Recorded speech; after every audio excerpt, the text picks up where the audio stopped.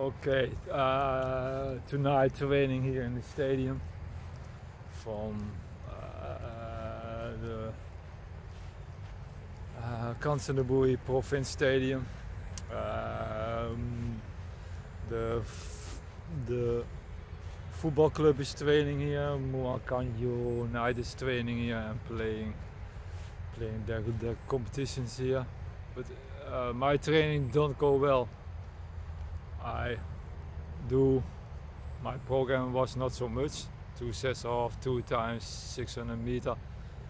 And uh, uh, with a pause of 200 jogging set pause of three minutes. And I feel already with, with the warming up with four rounds uh, jogging. I feel my left hamstring my left hamstring is still doing a little bit strange sometimes getting some cramp in it almost so it's not so good. And uh, doing the warming up do some exercises and things like that.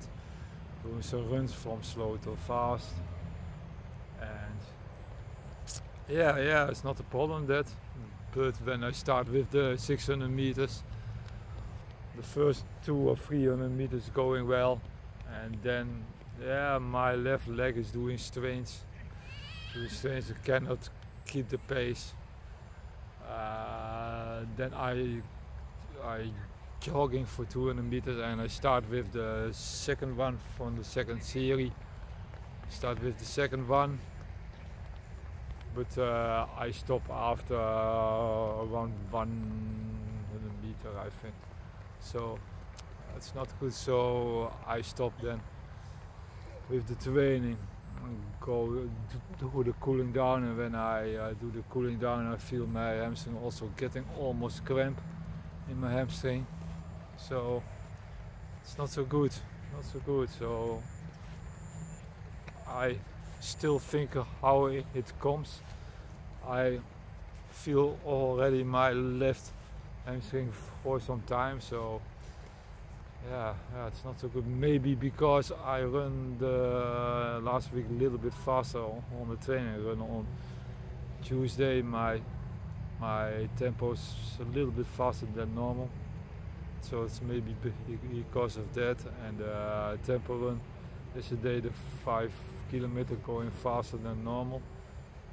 So maybe about that. So tomorrow I run by Latja on the cycle track two rounds run 60 minutes.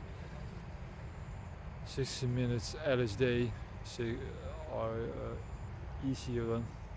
So I, I, I hope the problems going a little bit more away. Try to do something with some more uh, massage maybe some uh, doing with temperature cooling maybe some uh, warmer things on my hamstrings so have to see how it goes.